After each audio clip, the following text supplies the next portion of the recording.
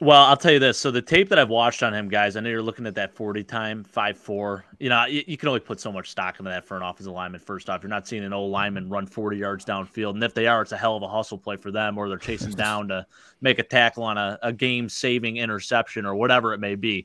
His lateral quickness, I think, is the biggest thing. And that is huge as a guard. You want to see a guy that's able to get out in front, pull, you know, play on, you know, do some of those more athletic plays – um, and he is just fantastic at that. So I think that's what really stood out to me. His game speed matches up better than what his 40 yard time is. And that's why a lot of people are sort of, you know, they're not as concerned about that being a 5 4. You know, even if he does run that, I don't even know if that's what he's going to run. But I think, uh, you know, there's some concern. Obviously, you look at straightaway speed, but his lateral quickness is fantastic. So I'm not concerned at all in the least bit. And he's an absolute mauler that has played at the highest level.